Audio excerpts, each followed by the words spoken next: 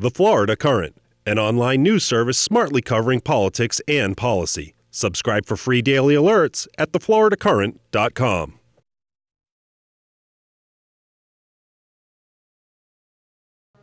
The state's new $63 million online unemployment system has experienced a multitude of massive problems, leaving Floridians in limbo as they wait for their benefits to be processed. It seemed like it'd work out, but you know, it's just taking a little longer than I thought it would. Similar complaints have been heard across the state since October. They can't get on. They got to call the um, 1 800 number and get help with it.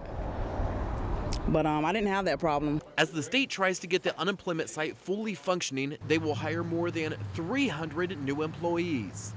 The state continues to withhold $3 million from the vendor Deloitte, as well as enforcing a $15,000 per business day penalty.